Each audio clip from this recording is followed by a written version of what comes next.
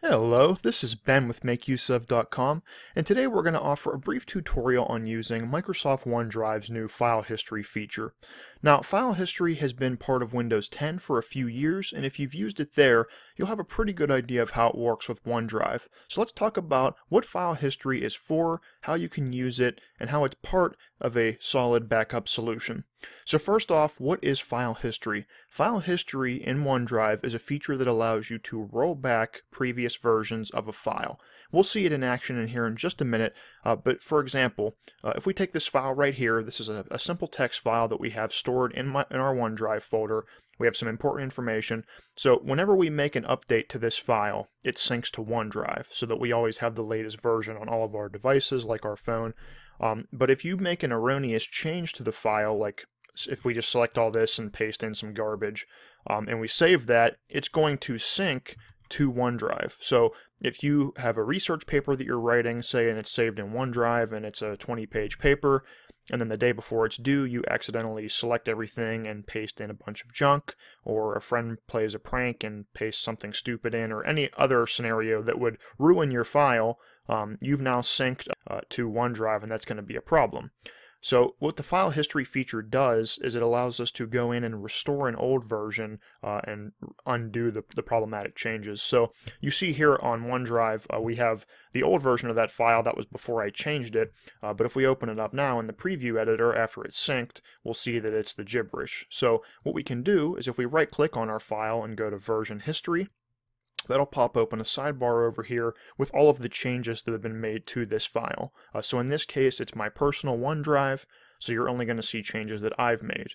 But if you're using a file in OneDrive that you're sharing with multiple people, you'll see the names of the people that modified it here. So if somebody's trying to play a prank or something, you can uh, easily see who made a change.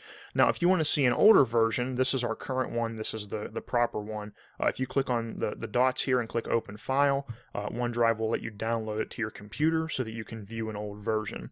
But if you'd like, you can also click Restore, and what that'll do is that'll make uh, this version that you selected to restore the current version.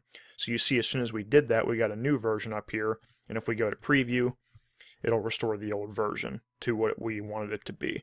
So it's a really useful feature, uh, but it does come with a few caveats. So first of all, uh, file history only works for files that are uh, 30 days old. The changes have been in the last 30 days. So if you make a change to a file and then two months later you realize that that was an accident, um, you're not going to be able to roll it back.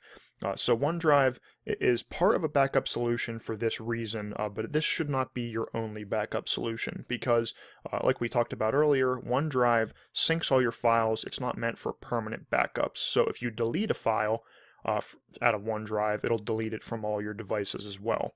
And OneDrive does have a recycle bin, but files in that bin are deleted after 30 days as well.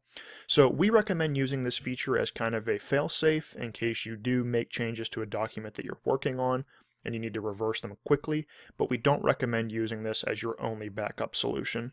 Uh, the best idea would be to use this as part of a, a backup solution where you're saving your data uh, to an external hard drive or uh, a cloud service like Backblaze or Carbonite uh, that lets you just back up everything to their service and then restore it if you need to. Uh, that way, OneDrive is kind of like your instant access. Uh, your most important files are saved there as kind of a safety net, and then your important stuff for the long term you save to your external hard drive and or Backblaze or Carbonite. That way, if you delete a photo off your computer and then you need it a year from now, you can just go grab it off of Backblaze's website. So in summary, OneDrive's file history is a really convenient feature that lets you roll back recent changes to a file so that if you accidentally make a change uh, or overwrite a file with junk data, uh, you can easily bring it back. Uh, we did we forgot to mention that this works with any type of file, so it used to only work with Microsoft Office documents, but now it works with anything. So text files like you saw here, uh, this will work with drawing files, so if you work in Photoshop or CAD or something like that, um, that'll be really useful there too if you make a, an accidental change. So overall, it's a great feature. You should take advantage of it. Uh, OneDrive is included with Windows 10, of course, so it's just another reason to use that cloud storage.